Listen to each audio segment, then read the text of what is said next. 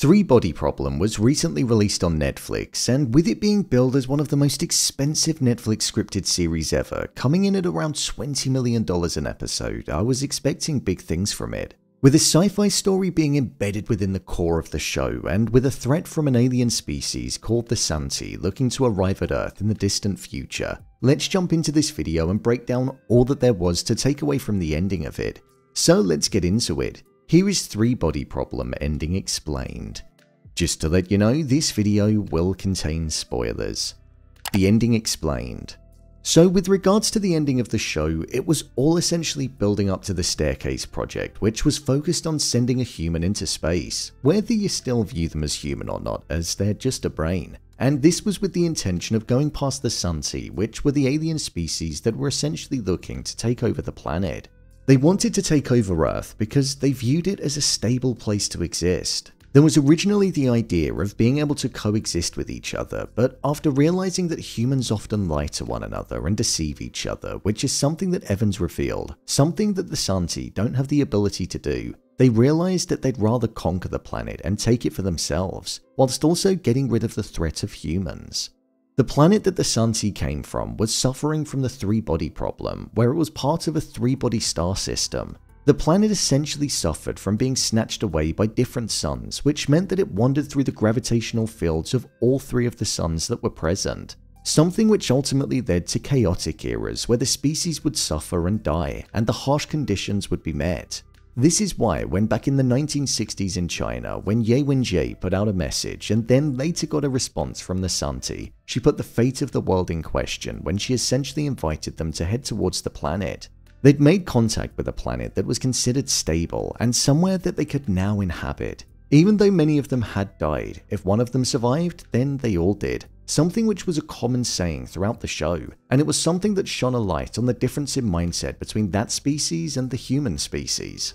The deeper questions and themes that lied within this show were very much focused about human behaviour and how selfish of a species we can often be. For example, the chopping down of trees that had been around for hundreds of years and had seen far more than any of us could ever imagine.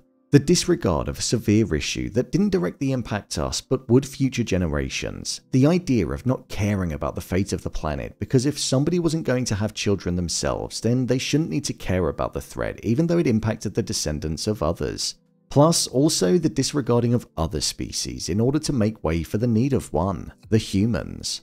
That's why we saw themes and moments where the disregard for humans was something that was present by fellow humans too, such as when Will refused to swear loyalty to the human race, and also why Ye Wenjie actually invited them to come, because she'd almost lost hope with the human race after watching what happened to her father on a public stage, and also the way that she was treated too. She saw the horrors that humans could inflict onto others, and she believed that there could have been a better species that was out there, just like what Will thought too so hence why the whole chain of events essentially kicked off. So, when it came to the Staircase project specifically, with Will being somebody that was dying, Wade viewed him as being the perfect candidate to have his brain frozen and sent to the vicinity of the Santi, as it was a mission that would have likely led to death. With his brain being frozen, it meant that the Santi would be able to kinda defrost it and learn about humankind and rebuild Will into the human that he was, meaning that he'd no longer be ill.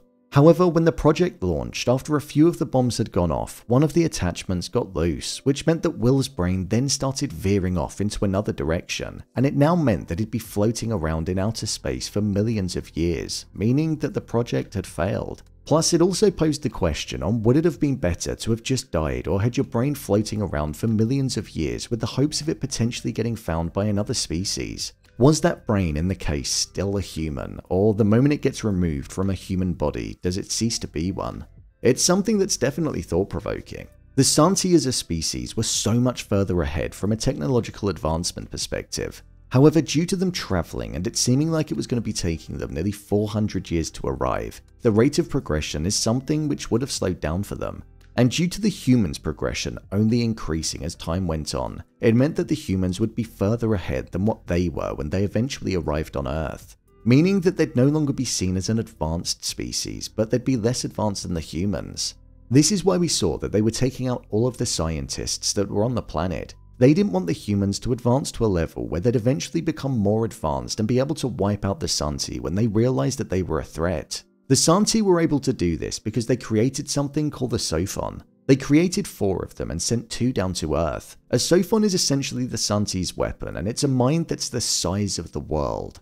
It's able to travel at light speed, hence why it reached Earth, and its intention was to wrap Earth in an illusion and feed the planet everything that it wanted to see. This was also what enabled the countdowns to be present in people's eyes to get them to stop working, for technology on the planet to fail, for messages to be shared where they referred to the species as bugs, and also for Tatiana to be invisible from the cameras and also reality when looking on, because the world at that point was full of illusions and the Santi were already in control. This is also the reason as to why the Santi were able to see and hear everything. With it being the size of the world, it meant that it was all knowing and was always listening and watching, so it was able to feed information back to the species and allow them to act. With the Staircase project failing, that meant that the humans' hopes of being able to get an insight into the species was no longer possible. But alongside this, there was a project that was being led by the United Nations, which was called the Wallfacer Project.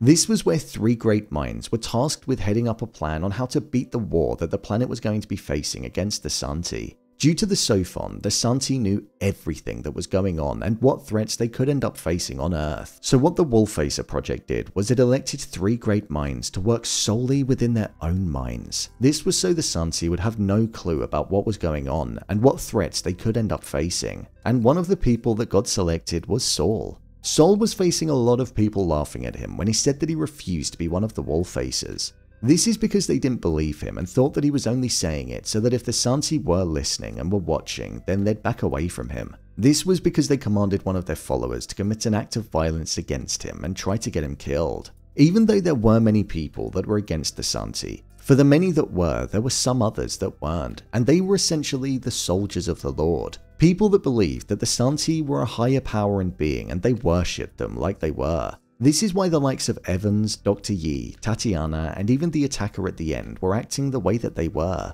When Wade was on his way back on the plane, we saw that Sophon appeared in front of him and reminded him of how fragile humans were, and how right now they did have some kind of hold over the planet. They also said that they were looking forward to eventually meeting him. This is referencing him being frozen for hundreds of years, but waking up for one week a year with the intention of checking that the project continued running smoothly. So I feel there's probably going to have to be some kind of time jump at some point in the next season of the show.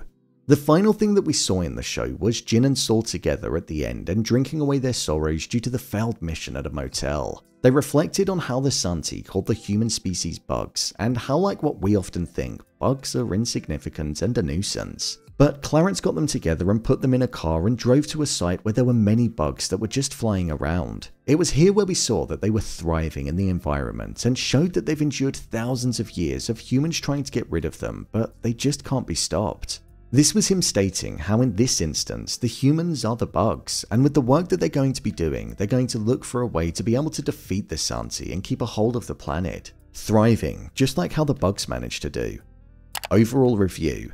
Personally, I thought this show was pretty good. I'm not gonna lie, I did think it would be a bit better than what it was. I felt like there were some really cool elements within it, and I think the first half of the show really captured the tone that I felt should have been present throughout the entirety of it. However, as the episodes went on, I feel it just started to fade. It slowed down a bit, and the sci fi element of the headset, the Sophon's inclusion, and the dominating presence started fading. And it felt like it was more focused on conflicting feelings and emotions from within, which I do kind of get because human nature was a large part of what was at the core of the show. But for me, it just made me lose something in it. I think the beginning was definitely better than the end.